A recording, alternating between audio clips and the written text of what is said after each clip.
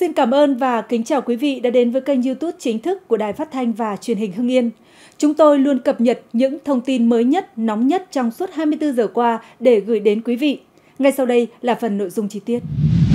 Mới đây, lãnh đạo Ủy ban Nhân dân xã Thượng Lộc, huyện Can Lộc, Hà Tĩnh cho biết các lực lượng chức năng đang điều tra làm rõ vụ việc nam thanh niên đâm trọng thương hai mẹ con rồi phóng hỏa đốt nhà. Theo thông tin ban đầu, vào khoảng 7 giờ 30 phút ngày 24 tháng 2, Bùi Hoài Nam, sinh năm 1993, quê ở huyện Can Lộc, đi xe máy đến nhà bạn gái NTL sinh năm 1998, quê ở xã Thượng Lộc, huyện Can Lộc để nói chuyện tình cảm. Tại đây, Nam và chị L đã xảy ra mâu thuẫn dẫn đến cãi vã. Lời qua tiếng lại, Nam đã hung hãn dùng kéo đâm chị L và mẹ của chị là bà VTT sinh năm 1969 khiến cả hai người bị thương nặng, rồi sau đó đổ xăng phóng hỏa đốt nhà. Nghe tiếng hô hoáng kêu cứu, người dân trong vùng đã nhanh chóng tiếp cận hiện trường, kịp thời đưa hai mẹ con chị L đi cấp cứu, đồng thời tiến hành các phương án dập lửa. Tuy nhiên, do nhà chứa nhiều đồ đạc dễ cháy nên đám cháy bùng phát dữ dội, gây thiệt hại một số tài sản. Gây án xong, Bùi Hòa Nam đã lẫn trốn vào rừng núi. Nhận được thông tin, Công an huyện Can Lộc phối hợp với Phòng Hình sự Công an tỉnh Hà Tĩnh đến điều tra vụ việc, tổ chức phong tỏa các nẻo đường để vây bắt nghi phạm. Đến 11 giờ cùng ngày, sau gần 3 giờ truy tìm, lực lượng chức năng đã bắt được Bùi Hoài Nam khi đang lẫn trốn tại trang trại ở xã Thượng Lộc, huyện Can Lộc. Được biết chị L là người yêu cũ của Nam. Cơ quan chức năng hiện đang tạm giữ hình sự Bùi Hoài Nam, trú xã Trung Lộc, huyện Can Lộc để điều tra các hành vi liên quan giết người và hủy hoại tài sản. Mới đây, lãnh đạo Công an quận Hoàng Mai Hà Nội cho biết đã khởi tố vụ án để điều tra hành vi đổ xăng lên đầu người để đốt tại quán bia Thảo Đen, số 1381 đường Giải Phóng, phường Hoàng Liệt. Về phía nạn nhân, người đàn ông này bị bỏng toàn thân 98%, rất nguy kịch và đang được cấp cứu điều trị tại bệnh viện. Theo thông tin ban đầu chiều 22 tháng 2, Công an phường Hoàng Liệt nhận tin báo về việc một người đàn ông bị đổ xăng đốt khi đang ngồi uống bia tại quán bia Thảo Đen, số 1381 đường Giải Phóng, thành phố Hà Nội. Ngay sau đó, tổ công tác công an phường Hoàng Liệt đã đến hiện trường đưa nạn nhân đi cấp cứu trong tình trạng nguy kịch. Danh tính nạn nhân được xác định là ông Tạ Văn Hát, sinh năm 1969, trú quận Hoàng Mai.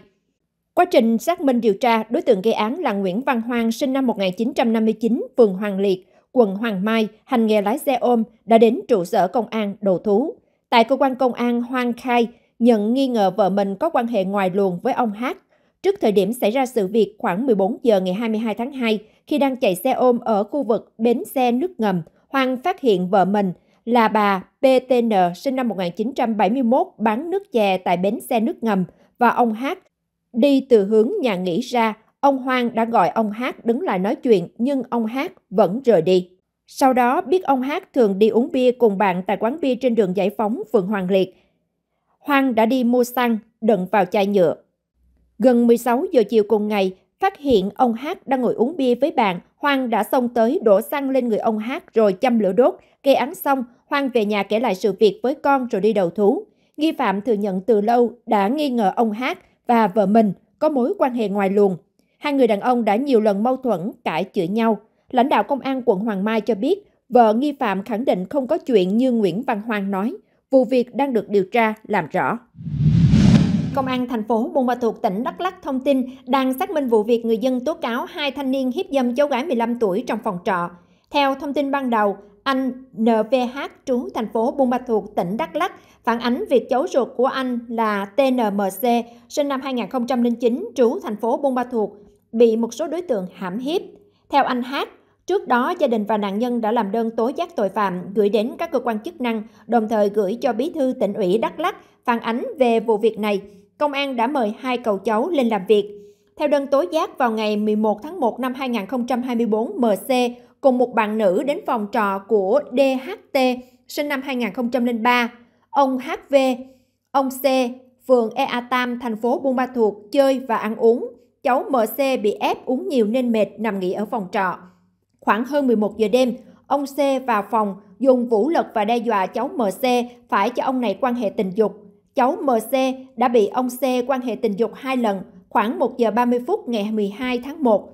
Ông HV lại vào dùng vũ lực quan hệ với cháu một lần. DHT thấy ông HV, ông C dùng vũ lực để thực hiện hành vi với cháu MC nhưng không can ngăn. Lúc này cháu MC mệt quá ngủ thiếp tới sáng rồi mới ra về. Sau khi sự việc xảy ra, người cậu đã dẫn cháu MC lên công an phường Ea Tam, thành phố Buôn Ma Thuột trình báo, đồng thời gửi đơn tố giác tội phạm. Đối với hai đối tượng trên, được biết bố mẹ cháu N đang làm ăn xa nên ông H đại diện gia đình để tố cáo những người đã thực hiện hành vi đồi bại với cháu mình. Ngày 22 tháng 1, anh H nhận được văn bản của tỉnh ủy Đắk Lắk thông báo đã tiếp nhận và chuyển đơn về vụ việc tới Giám đốc Công an tỉnh Đắk Lắk để xem xét giải quyết theo quy định. Đến nay, hơn một tháng, anh H chưa thấy phản hồi gì từ cơ quan chức năng. Anh H cho biết, sau vụ việc cháu MC bị sốc tinh thần rất lớn, do đó mới đây, ông đồng ý cho cháu N xuống thành phố Hồ Chí Minh với người thân để thoải mái hơn về tâm lý. Trước đây MC phụ bán cà phê cho một quán trên địa bàn thành phố. Ba mẹ MC đi làm ăn xa, bản thân anh Hát bận công việc nên đi làm thường xuyên. Người cậu ruột chia sẻ, gia đình mong muốn các cơ quan chức năng vào cuộc quyết liệt để bảo vệ danh dự sức khỏe cho cháu. Liên quan đến vụ việc, một lãnh đạo công an thành phố Buôn Ma Thuột cho biết đơn vị đã nắm vụ việc và đang trong quá trình xác minh tin báo tố giác tội phạm. Mới đây, Tòa án Nhân dân huyện Châu Phú, tỉnh An Giang tuyên phạt bị cáo Đỗ Thị Phượng, sinh năm 1971, 3 năm 6 tháng tù, Lê Thị Vân, sinh năm 1999, 2 năm 6 tháng tù, Đỗ Thị Đào, sinh năm 1958, Đỗ Thanh Nhàn, sinh năm 1982 và Đỗ Thị Phiên, sinh năm 1961, 2 năm tù cùng về tội chống người thi hành công vụ. Các bị cáo đều trú tại tỉnh An Giang. Theo cáo trạng của Viện Kiểm sát, vào năm 2019, được sự cho phép của Ủy ban Nhân dân huyện Châu Phú, tỉnh An Giang, công ty trách nhiệm hữu hạn một thành viên nuôi trồng thủy sản Nam Việt Bình Phú ký hợp đồng với công ty cổ phần đầu tư và xây dựng thuận Trung thi công cầu kênh 12, đường Bắc Cây Dương thuộc ấp Bình Quế, xã Bình Phú, huyện Châu Phú để phục vụ nhu cầu đi lại chung của người dân. Tuy nhiên, trong quá trình xây dựng, bị cáo Đỗ Thị Phượng cùng gia đình nhiều lần đứng ra ngăn cản thi công và yêu cầu bồi thường. Khoảng 8 giờ 30 phút ngày 22 tháng 8 năm 2023, khi tiến hành thi công đến trước nhà bị cáo Phượng, thì người phụ nữ này cùng các bị cáo Nhàn, Vân, con gái bà Phượng và những người khác trong gia đình đứng ra ngăn cản, lấy nước sôi, pha mắm tôm, dọa tạt vào công nhân. Nhận được tin báo, công an xã Bình Phú nhanh chóng có mặt tại hiện trường để giữ trật tự khu vực. Lúc này bị cáo Phượng dùng dẻ tẩm dầu đốt ném vào công nhân đang thi công. Được sự vận động của công an huyện cùng chính quyền địa phương, gia đình bị cáo Phượng không cản trở việc thi công. Riêng bà Phượng được mời về trụ sở xã làm việc, nhưng người phụ nữ này không chấp hành. Bị cáo Phượng sau đó nói với bị cáo Đào và gọi điện thoại cho bị cáo Đỗ Thị Phiên là chị ruột của bị cáo Phượng đến hỗ trợ ngăn cản việc thi công cầu và lực lượng chức năng đang làm nhiệm vụ. Sau đó, công an huyện đã phối hợp cùng với chính quyền địa phương vận động Phượng cùng gia đình không cản trở việc thi công và mời về trụ sở làm việc, nhưng người này không chấp hành.